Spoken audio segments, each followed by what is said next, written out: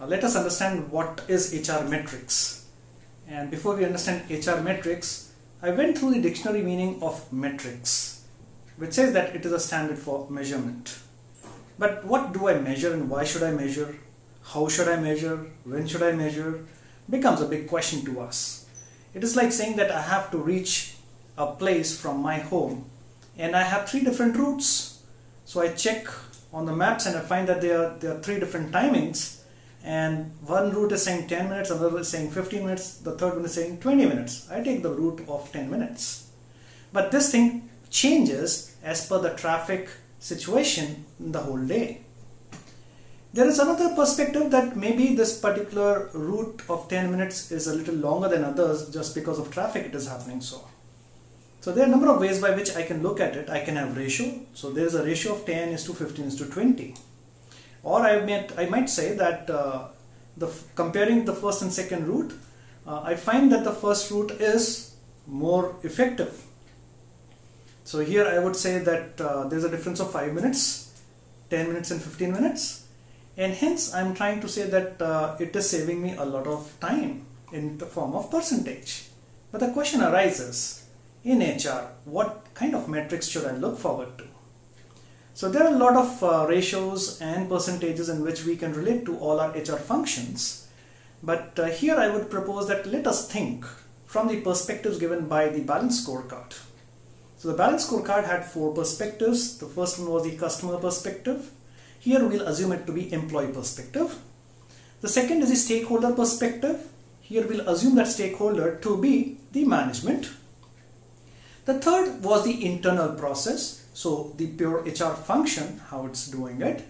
And the fourth is the learning and the growth part, wherein we talk about the gaps and we can talk about the other things. So let us look from the individual point of view. So as an employee, what are the things that concern an employee? So as an individual, what concerns is uh, coming on time. Second, we can talk about absenteeism.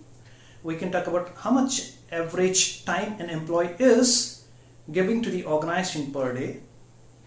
We can talk about the attrition rate of an employee, how many people have left in the whole financial year, that is one of the norms. How many employees left within three months of joining, that's again something pertaining to an individual.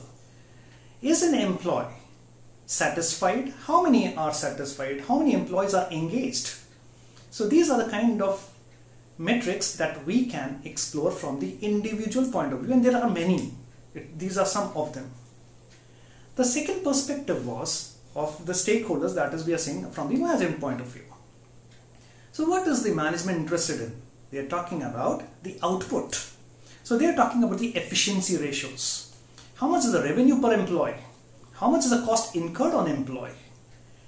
Let us look at the third perspective, which talks about the internal process. So we have different HR functions happening all around.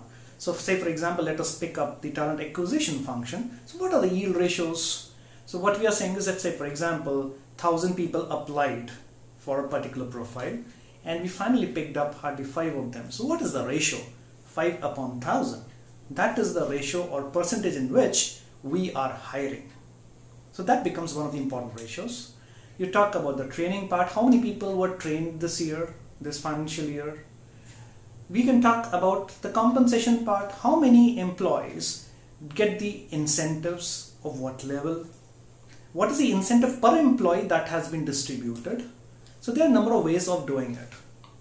The fourth perspective talks about learning and growth.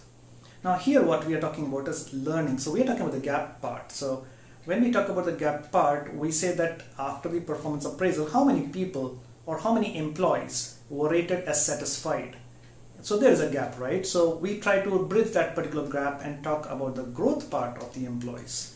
So what is happening here is that we are saying that how many employees were rated above satisfactory, how many employees were rated below satisfactory, what is the ratio. In case I say that they have been rated as below satisfactory, what is the likelihood that they have stayed with us? So how many people who are rated below satisfaction level retained with us? So there are a number of ways by which we can approach these ratios and one of the most important one is the return on investment.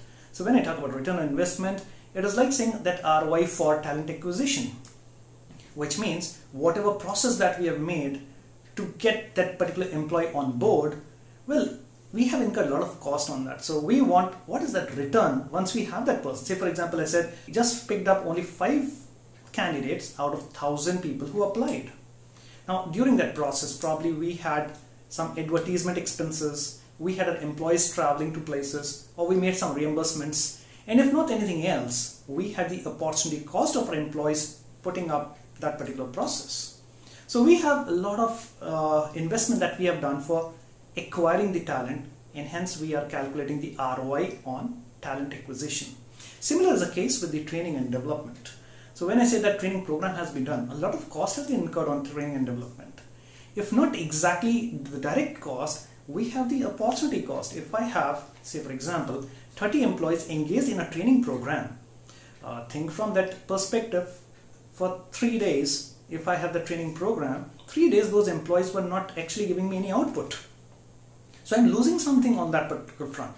Or maybe I'm making others do something extra. Or these guys will do something extra once they get back on the job. So think from those perspectives that we have ROI of training and development, we have got ROI of talent acquisition, and uh, that's how we talk about all the metrics around.